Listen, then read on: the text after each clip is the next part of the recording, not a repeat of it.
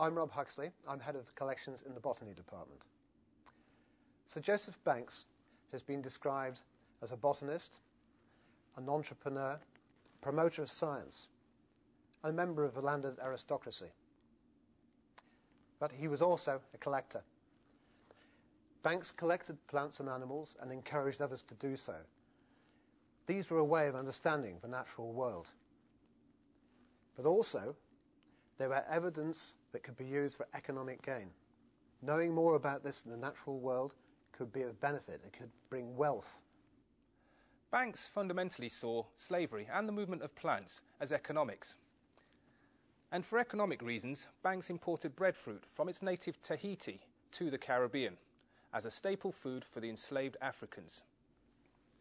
At first, breadfruit was not widely accepted as a food amongst the enslaved people of the Caribbean, although now it is very much a staple in many regions of the tropics.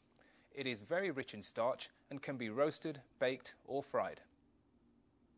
Europeans were really keen to bring as many plants as they could from all around the world. There was both power and prestige, and perhaps most importantly, profit involved. There were important commodities, foods like sugar, there was tobacco and cotton that fueled the industries here.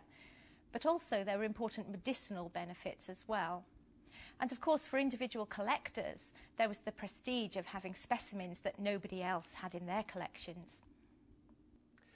Banks became, in effect, an advisor, a scientific advisor to the government of the time.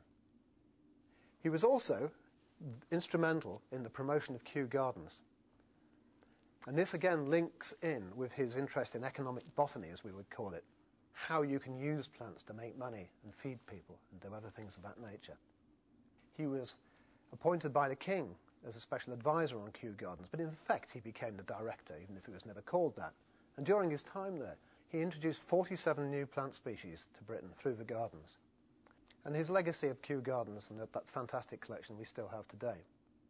We also have another legacy. We have the legacy of his collection of plants and animals, his dried specimens, which we have in the Natural History Museum.